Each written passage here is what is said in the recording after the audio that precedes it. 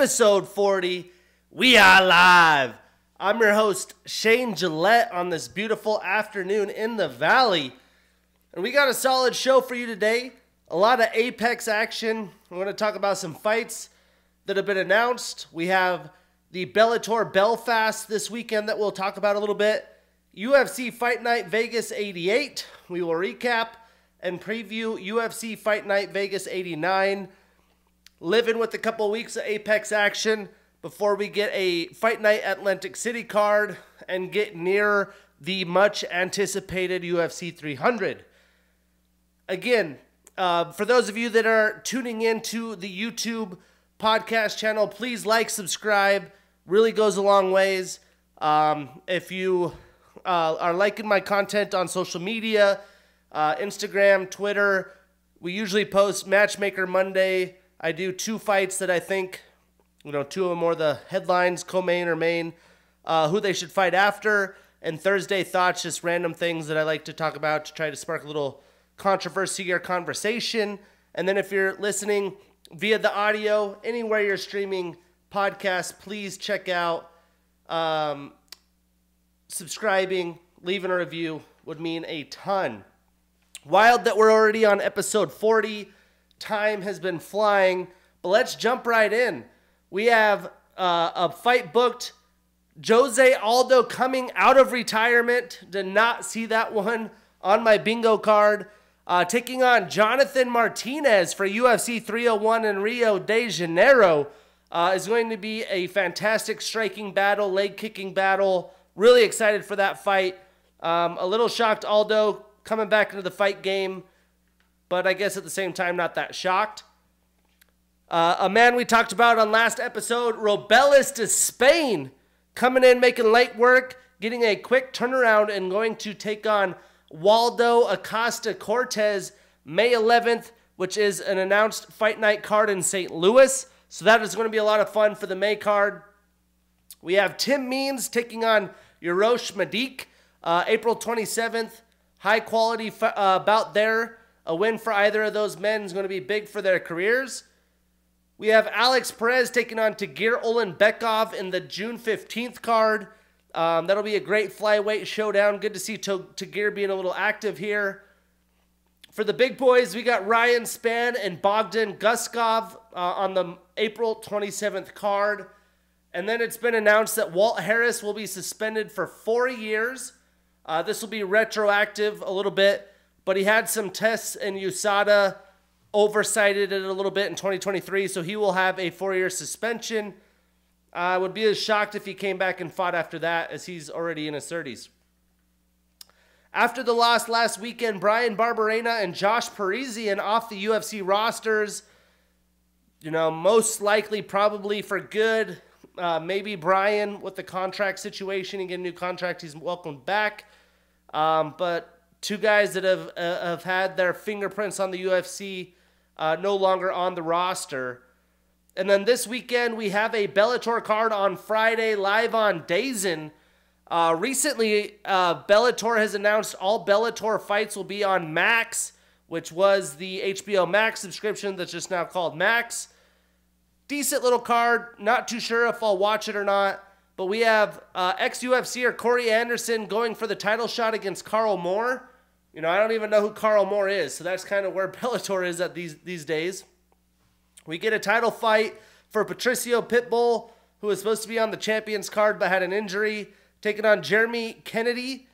We have Fabian Edwards taking on Aaron Jeffery.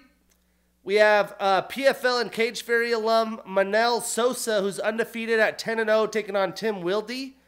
And Tofiq Musayev taking on Alfie Davis. So some decent fights.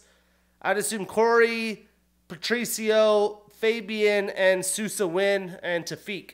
That, that's my guess. But decent little card if you're trying to get some extra fight action. But let's recap last weekend's card. UFC Fight Night Vegas 88.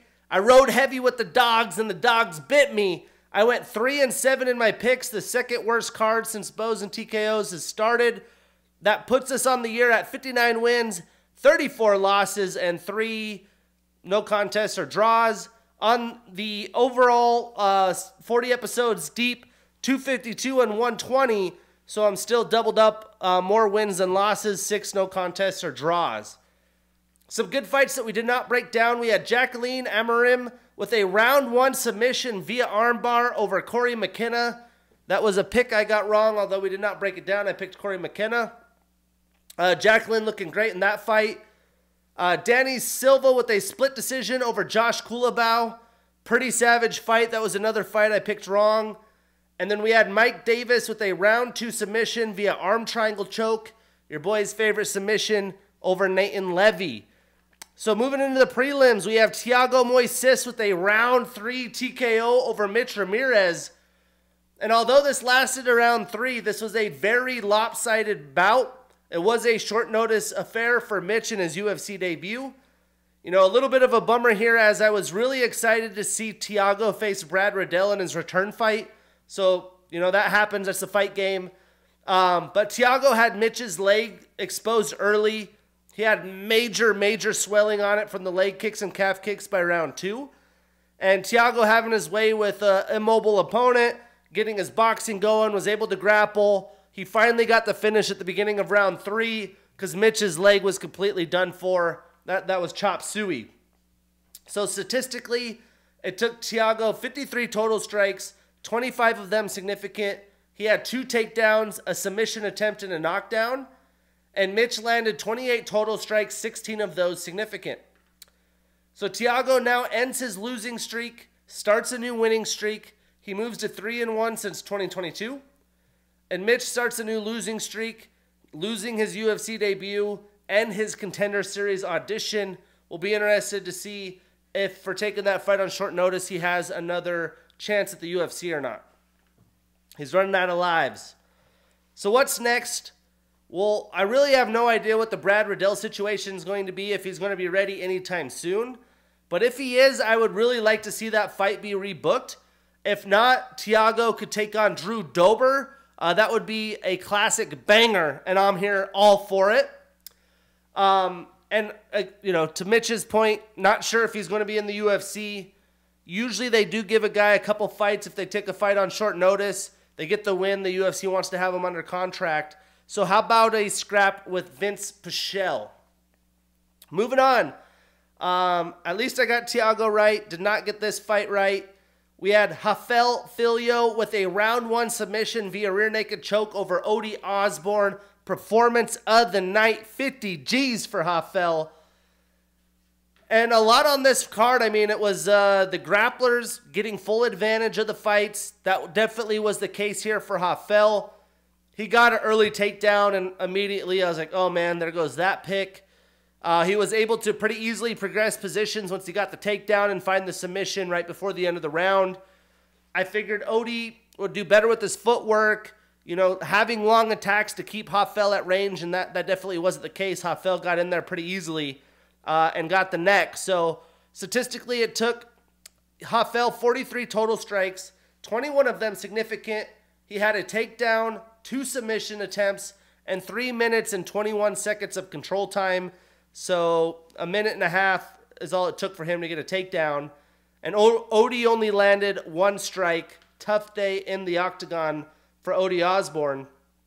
So Rafael extends his winning streak to two. He's three and one in the UFC. You know, almost undefeated after the the knee bar that he had against Muhammad Mokaev, but Muhammad would not tap, came away at the finish.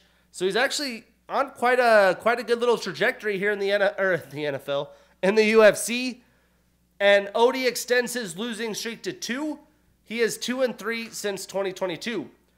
So I'd like to see Rafael move up a little bit, take on Cody Durden. And for Ode, how about Felipe Dos Santos? That would be a great clash of styles, uh, fun striking battle there. Moving on in the last prelim fight, we had Chelsea Chandler with the unanimous decision over Josiane Nunes. And Much like the Phil, Filho fight, this was just another grappler turning this fight into a, a, a, grappling match, executing her game plan, staying away from damage against a solid striker.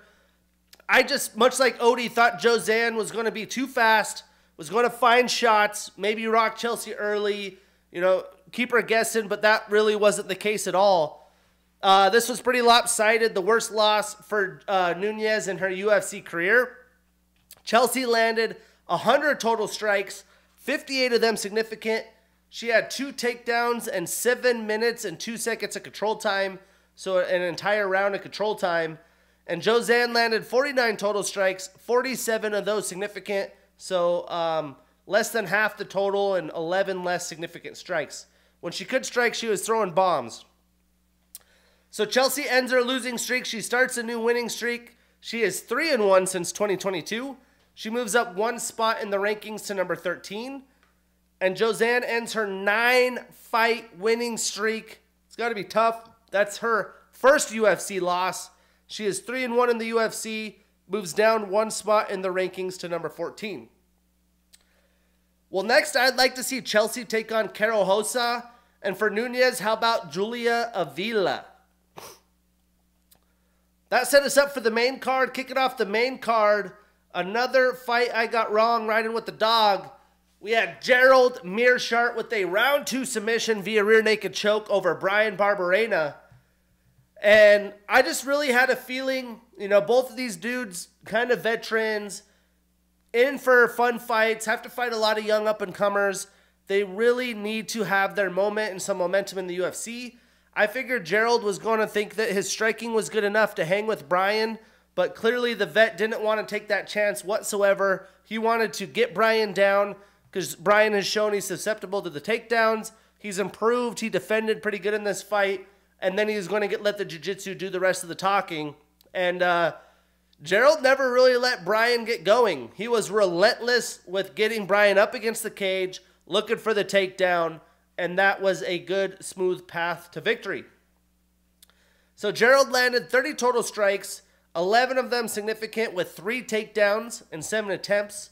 So Bryan, you know, battling, defended four takedowns. Uh, GM3 had two submission attempts and five minutes and three seconds of control time. So pretty much that entire first round. And Bryan landed 25 total strikes, 12 of them significant. So more significant strikes, almost the same amount of strikes, but it did not matter. Gerald now puts a quick stop to his two fight losing streak and starts a new winning streak. He is now 2 and 3 since 2022. And Bryan extends his losing streak to 4 he has been active though. He's two and four, six fights since 2022. So where do these guys go next? Uh, for Gerald, I think Brad Tavares would be a ton of fun. A good stylistic matchup. A guy who could grapple as well. I'm actually surprised those two haven't fought each other yet. And for Bryan, supposedly he's released in the UFC. If it's a contract thing, maybe he could get another striker and take on a fight against someone like Abdul Razak Alhassan. Moving on, another woman affair here. We had Macy Chiasson with a round one submission via rear naked choke over Pannie Kianzad. Performance of the night, 50 G's for Macy. And this literally was the Ultimate Fighter finale rematch all over again, but uh, Macy actually got the finish in round one, not round two. Uh, and that was five and a half years ago. And, you know, when you beat somebody, although people can change and you know, it's been some time. There's really that confidence that you have coming into that matchup. And you could tell Macy was super confident. She knew she was going to get a takedown. She was going to get a su- submission. And that's exactly what happened. I honestly thought, though, Penny would be a little bit more prepared for that. I thought she was going to move more, let her hands fly more, which she really didn't. She, she wasn't moving as much as you'd think when she's taking on a grappler, someone she's already faced and I thought she would let her technical striking flourish, and that really wasn't the case. Not a lot of things happening here. I mean, Macy landed five total strikes, four of them significant. She had two takedowns, a submission attempt, a reversal, and two minutes and 28 seconds of control time. Pannie landed 29 total strikes, only two of them significant. She had a takedown in two attempts. So Macy now starts a new winning streak. She is 2 and 1 since 2022. She moves up four spots in the rankings to number 6. And Pannie extends her losing streak to 2. She is 1 and 2 since 2022 and moves down 3 spots in the rankings to number 9. I think with a performance like that, Macy has earned her shot against Miesha Tate. I think that would be a fun matchup. Miesha would be happy with that. And for Pannie, she could take on Yana Santos. So the card overall this far, I mean, obviously Mitch didn't deserve to be in there with Thiago. It was a short notice thing. Hoffel, Chelsea, GM3, and Macy all grappled their way to victory. I'm not a, a downer of grappling. I'm definitely one of the, the few that are pro grappling. It's just stylistically and a lot of excitement. It was just a lot of domination, not a lot of strikes being landed. Uh, somewhat of a clunker thus far. And then we had a, a wild fight. Uh, we had Christian Rodriguez with a split decision over Isaac Dulgarian. And this was a fight I actually got right, but I don't think Christian won the fight. I mean, Isaac came in and completely dominated the first two rounds with his grappling heavy attack. He even almost finished Christian early in round one. Uh, but Rodriguez, you know, he, he's a dog and he, he showed that he he, he's never going to give up, and he, keep, he kept doing what he's been doing, and that's just outlasting his opponents.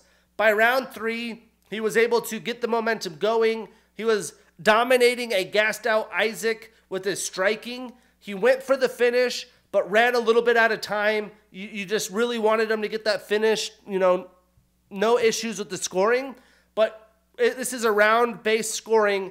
I think Isaac completely dominated rounds one and two. He won two rounds to uh, Christian's three. Well, you could say Christian had a two uh, a 10-8 round in round three. Well, if that's the case, then Isaac had a 10-8 round in round one. So um, really bad scorecard here. I'll take the dub though. I would have been two and eight, um, but you know it, it's just funny thinking that after round one you're like, man, Isaac's going to cruise to a decision. Worst case uh, with the judges, but he should get the finish. Round three, Christian was able to weather the storm uh, ty- you know, work on a tired Isaac. Um, but brutal for Isaac. Good young career, taking a loss. He'll be back. Uh, this kid's going to be a problem. Statistically, Isaac landed 56 total strikes, 22 of those significant. He had seven takedowns in 16 attempts. I mean, you want to talk about a gas tank, you, you, you can't be gassing out in a 15 minute fight, only three rounds. But 16 attempts, that, that could do the trick. Um, you know, just a little bit less than 50%. So Christian was defending well. Uh, two submission attempts for Isaac and nine minutes and 22 seconds of control time. So almost two full rounds. And Christian landed a good amount of strikes 97 total, 48 of those significant. So almost doubled up Isaac's totals, but that all came in round three because he was just defending strikes rounds one and round two. And then in round three, Christian had three minutes and 19 seconds of control time, so almost, uh, you know, more than half a round there.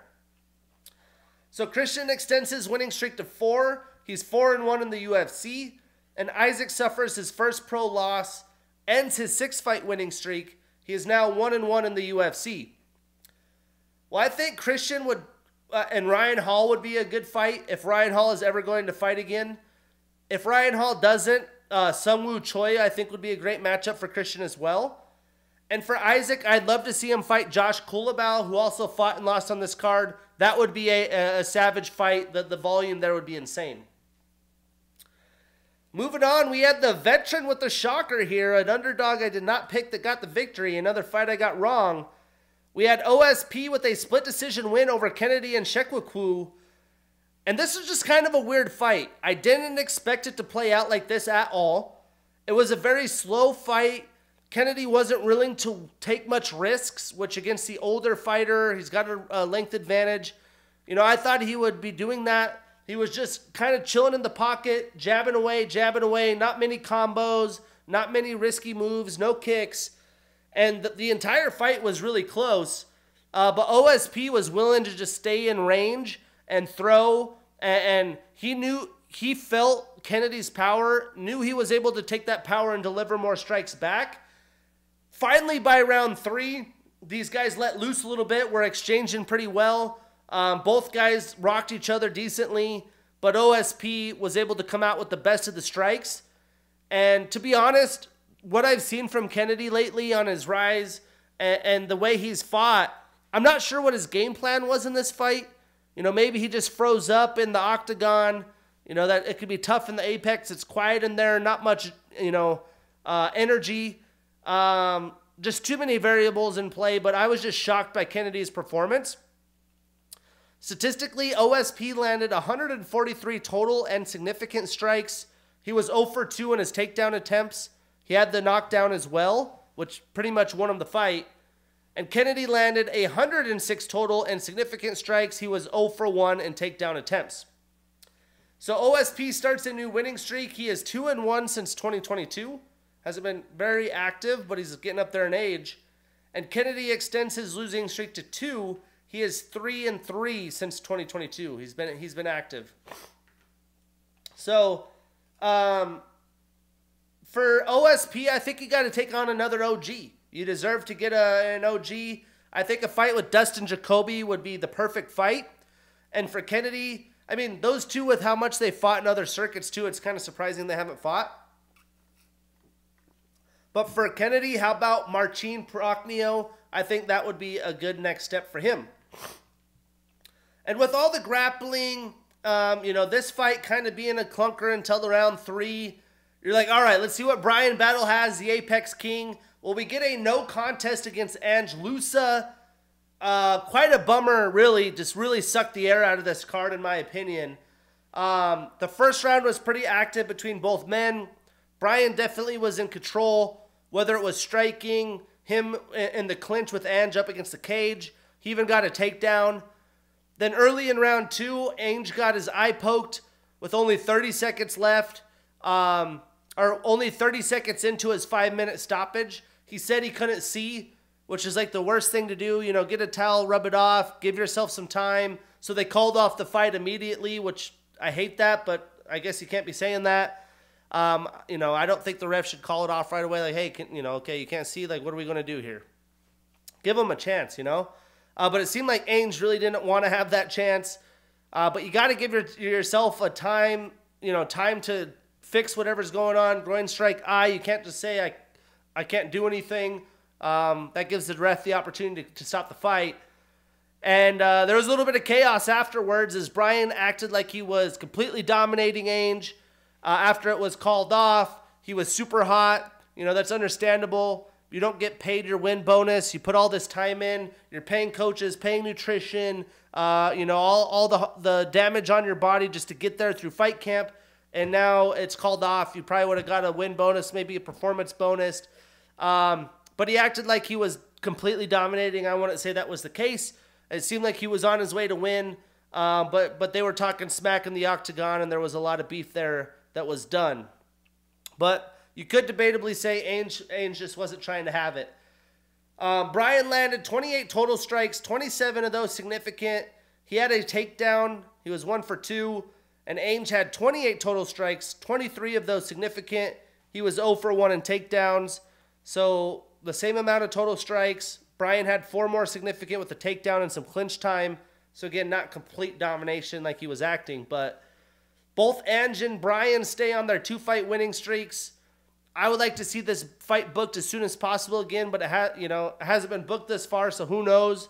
Uh, you think you're like, hey, let's turn around this next time in the next Apex fight, um, but we'll see. We'll see what happens. Then in the main event, another underdog shocker. I did not pick this dog.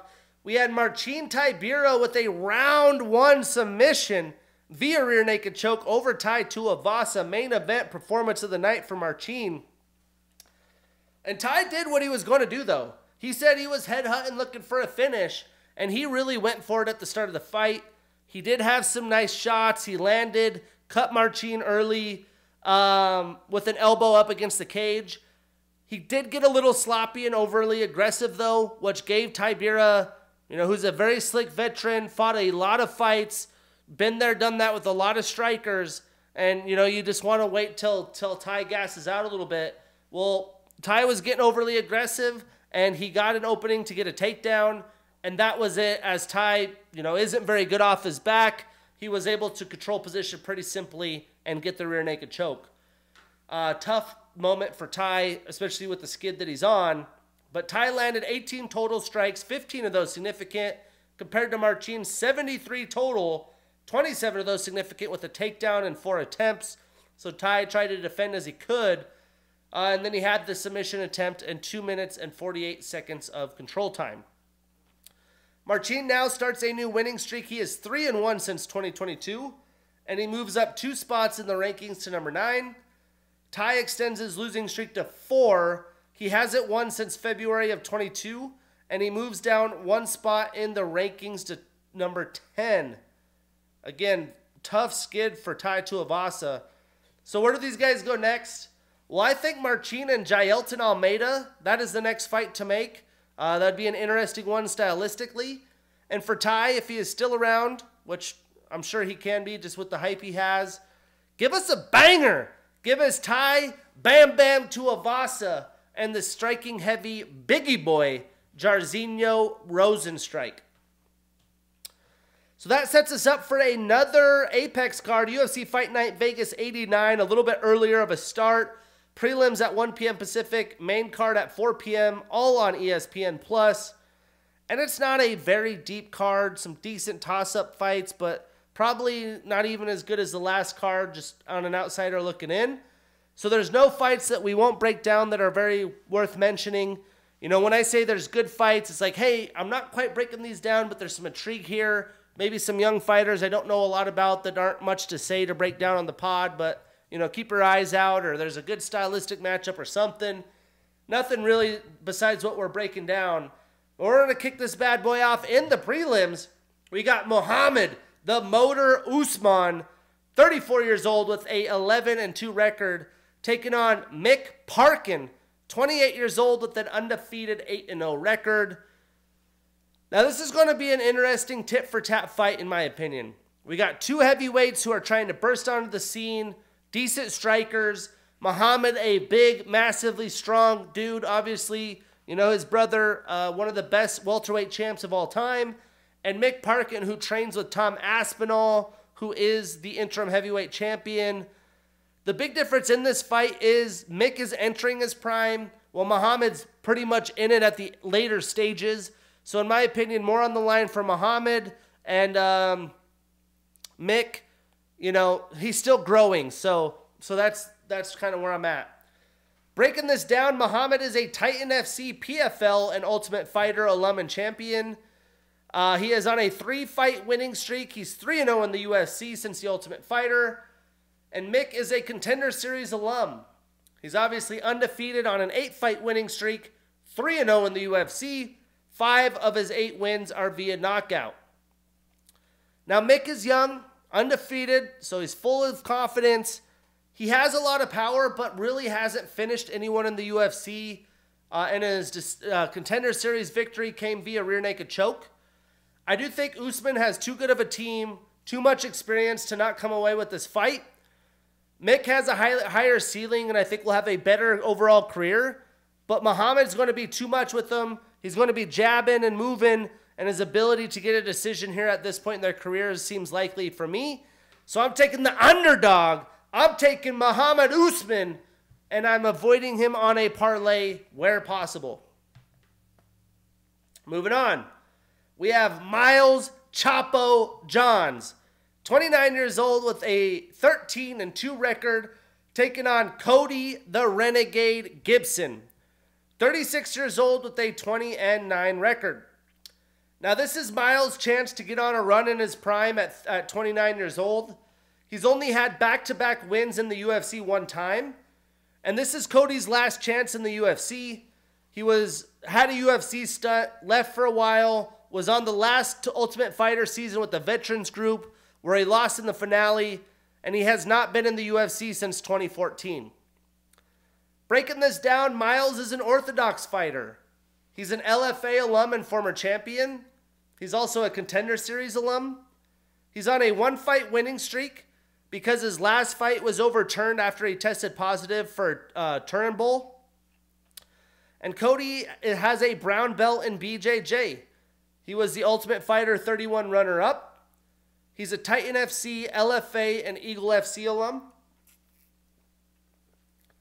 He's on a one fight losing streak and is 3 and 2 since 2021 outside of the UFC. Seven of his 19 wins are via knockout, four of his nine losses are via submission.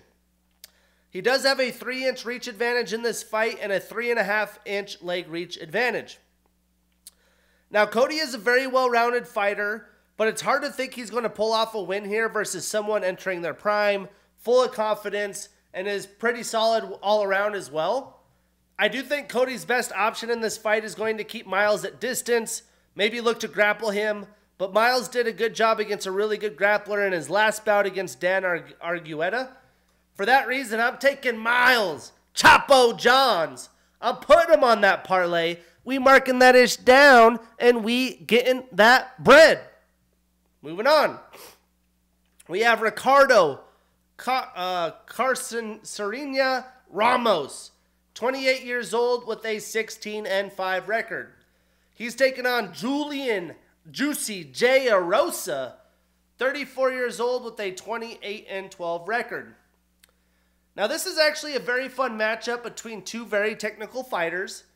You know, Ricardo seeking a quality win, get some momentum as he's entering his prime at 28.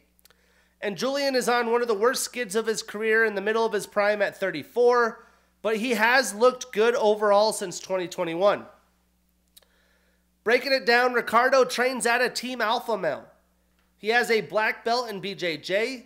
He's a Legacy FC alum. He's on a one fight winning streak and is 1 and 1 since 2022. Seven of his 16 wins are via submission. Now, Julian trains out of Extreme Couture. He's a King of the Cage, Cage Warriors, Contender Series, and Ultimate Fighter alum. He's on a two fight losing streak and is 2 and 2 since 2022. 11 of his 28 wins are via knockout, 12 via submission, so 23 of his 28 wins are via finish. Seven of his 11 losses are via knockout. Now, Julian's been there with some quality opponents. He's had some good wins like Hakeem Dawodu, Charles Jourdain, Nate Landwehr, and Sean Woodson. But that was when they were all young. He's a true MMA veteran. He's dangerous. He's going to come in with a good game plan. Ricardo's a little bit of a wild card. He's got that wild striking, lots of spinning techniques. I imagine he's going to look for a finish and look to bring a lot of volume in this fight. I've gone back and forth. I am taking Ricardo Ramos, but I'm avoiding him on a parlay where possible. Then we get another Ultimate Fighter veteran alum, Kurt the Hurt Holobaugh, 37 years old with a 21 and 7 record. He's taken on Trey the Samurai Ghost Ogden, 34 years old with a 16 and 6 record. So this is more of a veteran clash between two men. They got a lot on the line, a ton to prove to stay with the UFC. Kurt is looking solid and has some good momentum after winning the Ultimate Fighter 31, but he hasn't hasn't done much uh, before that since his UFC release. Breaking these men down, Kurt has a black belt in BJJ. He's an orthodox fighter, Titan FC alum. He was a Titan FC interim champ and contender series alum. He's on a three fight winning streak, um, two in the XFC, and then his Ultimate Fighter finale. We could say five if you include all of his Ultimate Fighter fights. 10 of his 20 wins are via submission, 7 via knockout, so 17 of his 20 wins via finish. Very impressive for the hurt. Now, Trey is also a Titan FC, Bellator, LFA, and Fury FC alum. He's on a one fight losing streak with a no contest. 11 of his 16 wins are via submission. Three of his six losses are also via submission. To submit or be submitted. Now, this is going to be an ugly dogfight. It'll probably mostly be a striking affair. I've really gone back and forth here, but Kurt really impressed me in the Ultimate Fighter to not think he would come out as the winner. I think he's going to outlast Trey. I think Trey's going to go heavy early on and maybe gas himself out, and Kurt might find a way to even get a finish late round two or round three.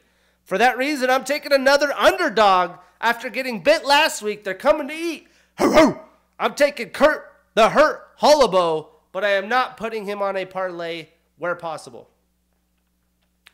Moving on to the main card, we got Billy Quarantillo, 35 years old with an 18 and 5 record, taking on Youssef the Moroccan Devil Zalal, 27 years old with a 13 and 5 record. Now, this is going to be a fun striking battle. I think it's going to be back and forth chaos. Billy had an opponent set for March 23rd, and Youssef had stepped into this fight. Now, this is a tough matchup for a short notice fight, but should be an even uh, more exciting matchup. Breaking it down, Billy has a black belt in BJJ. He's a King of the Cage, Contender Series, and Ultimate Fighter alum. He's on a one fight winning streak, but is one and two or two and one since 2022. Eight of his 18 wins are via knockout, five via submission, so 13 of his 18 wins via finish. Now, Youssef is an orthodox fighter. He trains out of Factory X. He's a purple belt in BJJ. He's an LFA alum. He's been out of the UFC since August of 2022, but he has racked up three quick wins since in the Sparta Combat League. Six of his 13 wins are via submission, four via knockout, so 10 of his 13 wins come via finish. Now, Youssef, although he's only 27 years old, is fighting for a chance to return to the UFC. Again, at only 27, this is probably the biggest moment of his UFC career. And Billy is going to be ready to rock. So I expect some fun exchanges and a bunch of volume here. It's a close fight, but I'm going with the veteran Billy Quarantillo. We are putting him on that parlay. We marking that ish down and we getting that bread. Moving on. We have Payton Talbott, 25 years old, undefeated with a 7 0 record, taking on Cameron MSP Saaiman, 23 years old with a 9 and 1 record. Now, these two young men, this is really showcasing the new era of the UFC. In a very deep bantamweight division, we have two young fighters who are coming into their own, and they're looking to show off their skills in the apex and win over MMA fans. We have an undefeated fighter versus a recently undefeated fighter uh, who, who has done a lot in his career at 9 and 1. Breaking it down, Payton is a A1 and Contender Series alum. He's un- A1 is the Urijah Faber promotion. He's undefeated on a seven fight winning streak, 2 0 in the UFC. He does have a three and a half inch reach advantage in this fight. Five of his seven wins are via knockout. And Cameron is a southpaw fighter. He's a contender series alum. He's on a one fight losing streak and has 4 and 1 in the UFC and he is 6 and 1 since 2022. Now, Cameron has been super active. He was full of confidence until he lost to Christian Rodriguez. So, you know he's going to come out hungry and aggressive in this fight. The problem is that Payton typically is the aggressor, very in your face kind of fighter. I'm really excited to see how this one plays out, but I do think the difference is going to be Payton striking. For that reason, I'm taking Payton Talbott. We put him on that parlay we marking that ish down and we getting that bread. I am though really interested to see Payton. Sorry to continue, but I am really to see really interested to see his performance here. He's one of those guys that you just you see a lot of that it factor, uh, so it's going to be a ton of fun. And Urijah speaks highly of him. Now we get Edmen the Golden Boy Shahbazyan, 26 years old with a 12 and 4 record taking on AJ Dobson, 32 years old with a 7 and 2 record. Now, Edmen at this point in his career is a vet fighting in the UFC since 2018. He's still only 26 though, and in desperate need of some momentum. And now he gets to fight AJ, who's in the middle of his prime, looking to continue his momentum. Breaking it down, Edmen trains out of Extreme Couture. He has a black belt in Shotokan Karate Karate. He is a contender series alum. He's on a one fight losing streak and is 1 and 1 since 2022, but 1 and 4 since 2020. So not super active, spending time in the lab, really needs those wins. Still only 26. 10 of his 12 wins are via knockout. Three of his four losses are via knockout, to knockout, or be knocked out. Now, AJ is a King of the Cage and Contender Series alum. He's on a one fight winning streak and is 1 and 2 since 2022. Three of his seven wins are via knockout. Now, I'm excited to see how Edmen has developed his game. You know, it, has been a year since we last saw him in his loss against Anthony Hernandez. Edmen, he does have very slick striking. He's the more technical striker in this fight. I think he's going to stay at range, find jabs, find a path to victory. He, he is a knockout guy, but maybe go to the judge's scorecard here. For that reason, I'm taking Edmen Shahbazyan. I am putting him on that parlay. We marking that ish down, and we getting that bread. Moving on. We have Karl Williams, 34 years old with a 9 and 1 record, taking on Justin Badman Tafa, 30 years old with a 7 and 3 record. Now, Justin's actually filling in for his brother Junior since he filled in for Justin's last fight. So he's taking on a tough heavyweight who's in his prime and hasn't lost since 2021. He's definitely full of confidence and Karl had his best win against Chase Sherman in May of last year. Breaking it down, Karl trains out of ATT. He's an icon fighting and contender series alum. He's on a six fight winning streak and is 3 0 in the UFC. He has a 5 inch reach advantage and a 3.5 inch leg reach advantage. Now, Justin has a blue belt in BJJ. He's on a three fight winning streak with a no contest in between and all seven of his wins are via knockout. Now, Karl is more of a patient heavyweight fighter. I think he's going to try to use his length to keep the power of Tafa at range.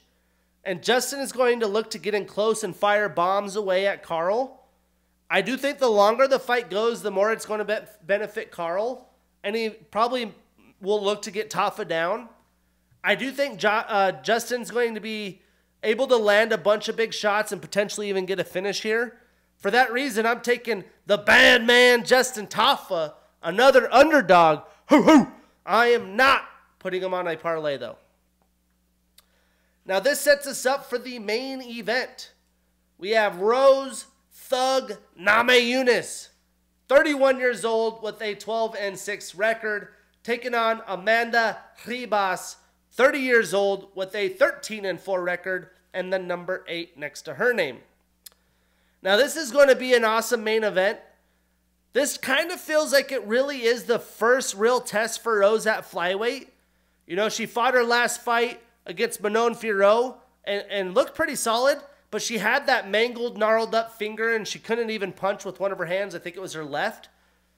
And Amanda, she's a solid striker. She's tough. She brings a ton of volume. I just think Rose is going to show that there's levels to the striking game and maybe show off a little bit. Now, Rose has a black belt in Taekwondo, a black belt in Karate, a brown belt in BJJ.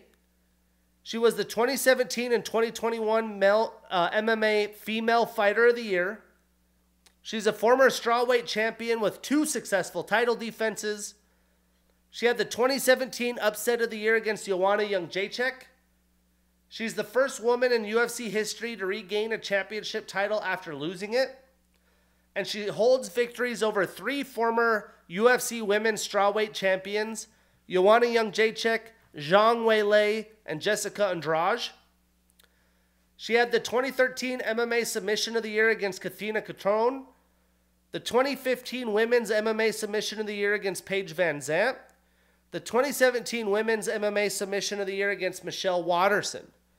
She had the 2017 Knockout of the Year against Joanna Jędrzejczyk, She's just a highlight machine. Thug Rose all day. She is an Invicta and Ultimate Fighter alum, and I have a sweet spot in, for her in my heart. When she was on The Ultimate Fighter, she was really young and just a little chaotic. And I was like, she's going to be the champ one day. Moved all the way, became one of the most dominant women in UFC history. You know, one of those ones you just, you, you had a feeling and it happened. Makes you feel good. She's on a two fight losing streak and hasn't won since November of 2021. A lot of weird things going on with her and her husband. I think it's her husband. And the coaching and the camps and the game plans. So it's gotten a little sketchy lately. But five of her 11 wins are via submission. Now, Amanda trains out of American Top Team. She has a black belt in BJJ, a black belt in Judo, and she's a Jungle Fight alum and former champ. She's on a one fight winning streak and is 2 and 2 since 2022. Three of her four losses are via knockout. Now, the biggest question for me is how Rose is going to approach this fight. You know, she doesn't have Trevor Wittman providing game plans these days.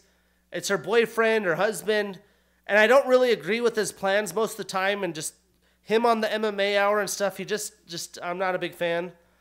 But if Rose is aggressive, she should get another amazing finish. But Amanda is going to make her work for it, especially if the fight goes deep. She's going to bring a ton of volume. I think we're about to see another highlight knockout. Uh, welcome to the flyweight moment. For that reason, I'm taking the former champ, Thug Rose. We putting her on that parlay. We marking that ish down, and we getting that bread. Now, after this Apex Chaos, we finally get a location Apex, or fight night card in Atlantic City. This is another women's headliner. We're getting the undefeated Erin Blanchfield and Manon, Manon Fiorot as a probably title eliminator fight. It's a more solid fight night card than this, but that's episode 40. I'm your host, Shane Gillette. See you next week.